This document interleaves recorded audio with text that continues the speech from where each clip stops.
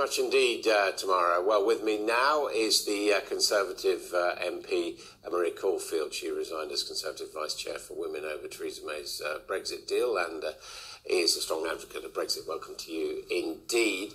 Um, what do you think the consequences of no deal Brexit would be? I mean, you know, I've always been very clear that a deal would be the preferred option, um, but it doesn't mean that if we didn't have a deal that we couldn't succeed uh, very well. What it would mean is there would be customs checks that would be introduced, um, and even with a, a, a, no deal, a WTO terms, that's how we trade with the rest of the world that we're not in a free trade uh, relationship with. So we, we can do this. And in terms of the Northern Ireland border, to be specific, uh, I sit on the Northern Ireland Select Committee, and we heard clear evidence that even with a no deal outcome, there is absolutely no need for a hard border between Northern Ireland and the Republic of but Ireland. But, you know, it's all bother and no gain. I mean, there's nothing we gain out of a no deal Brexit, is there? We just get, uh, as you say, uh, obstacles to trade in various areas. Well, no, there are um, uh, positives to gain, and for, if you ask lots of people who voted to leave, they assumed we'd be leaving on a no-deal uh, basis. So it does mean that we uh, come out of the EU, we're no longer in the customs union, the single market, it does mean we're able to then open up free trade arrangements with other countries around the world that we currently can't do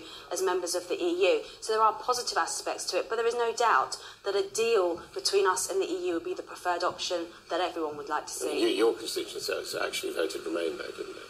My constituency, it was a bit like the, the national referendum, but in reverse. It was 52-48. Um, so, you know, but I have been overwhelmed by the response from people to say um, that they want us to get on with it now. Businesses want some certainty about what's happening after March.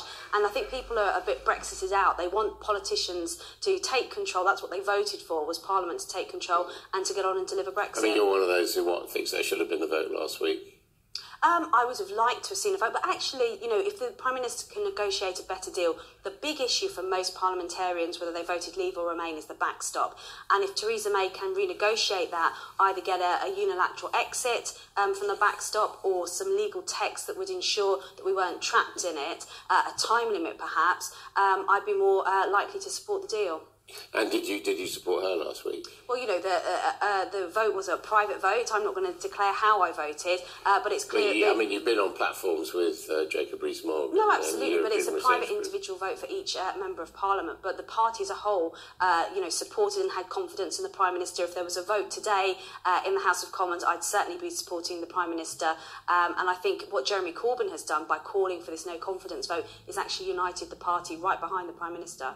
I mean, it's a bit odd, isn't it, that a third of the party voted no confidence in her last week, and now everyone's saying they're going to vote for her uh, in this vote that Jeremy Corbyn's put down. I mean, which is it? Do you back her or not? Well, I think you know the, the vote last week was an internal Conservative uh, Party vote. Um, it was you know looking at uh, the leadership of the Conservative Party. The vote, if we have one today or tomorrow or whenever he calls it, um, you know, is about who's the Prime Minister, the best person uh, to lead us in the negotiations, but to lead the country as a whole. For me, it's certainly not Jeremy Corbyn. Don't you think it'd be a good idea now to just have a, a, bit of a rethink and for MPs one way or another to look at the options of another referendum or going out with no deal or Mrs May's deal?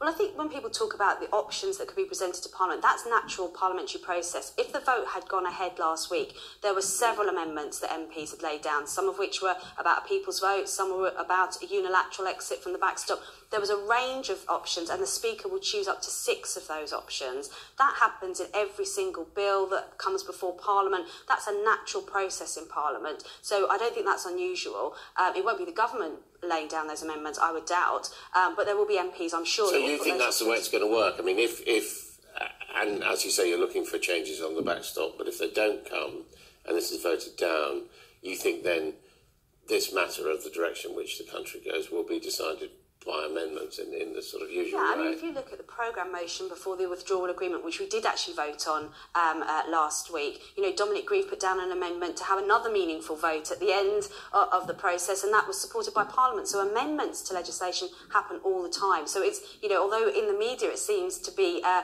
a very different way of yeah. doing things, that's, that's the day-to-day I mean, Is that what the party managers, the whips, are saying to you, that this is how they think this is going to work? They've not really had any discussions. Until we know what the Prime Minister comes back with, it's very difficult to know how most MPs are going to vote. But if she's able to secure something around that backstop that gives us the reassurance that it's not a permanent position, that we can get out of it, um, and even a time limited um, kind of aspect to it, um, we may all vote for it. I mean, it won't be, we know it won't be changes in the actual withdrawal agreement. It will be possibly some kind of legally binding statement about Yeah. ending the process.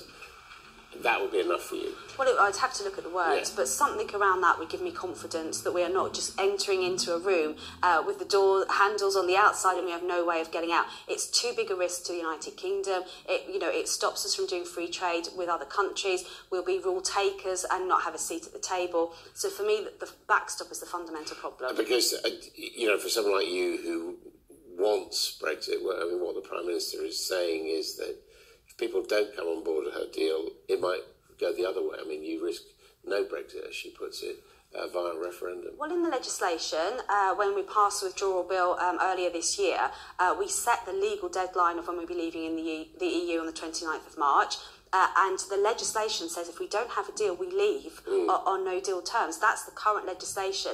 And Parliament, if it wants to reverse Yeah. that, has got a But very I mean, short Mrs. window. May says there is this possibility that. Well, there's that- also that- the- the Because we know the majority of individual MPs voted to remain, and uh, most of them are rather more dismayed about hard Brexit than you are. So, so accepting hard Brexit may actually mean you don't get any Brexit. Well, you know, there, there's always risks with these things. There's a risk that we could have a, a people's vote, but there's a risk that we would, you know, Brexiteers would win the people's vote once again. Um, so that no one knows what the future is going to hold. But it's clear that Jeremy Corbyn is very nervous about this because that's why he's held back on this no confidence motion. The majority of his seats um, were Leave constituencies, and if he's seen to be the person that undermines Yeah, he's going the Brexit, other way, isn't it? The overwhelming Well, I don't know majority of, of, of his uh, voters are in favour of remaining. Well, I don't know. If you look at some of those northern seats, if you look at the seats in Wales, you know, they voted leave by large amounts. And I don't think he knows what to do because whichever way he goes, uh, he's going to upset constituents in Labour seats. And so he's got as much of a problem uh, with Brexit uh, as the Conservative Party has. What's your best guess? Where are we going to be in uh, April next year? Well, I think we will have left uh, the EU. Um, I- I'm hoping that we'll be able to leave with a deal. That would be my preferred option. I'm hoping that over the Christmas period, uh, the Prime Minister is able to give us the reassurances we need about that backstop. Okay, Maria Caulfield, thank you very much, Lee, for joining us.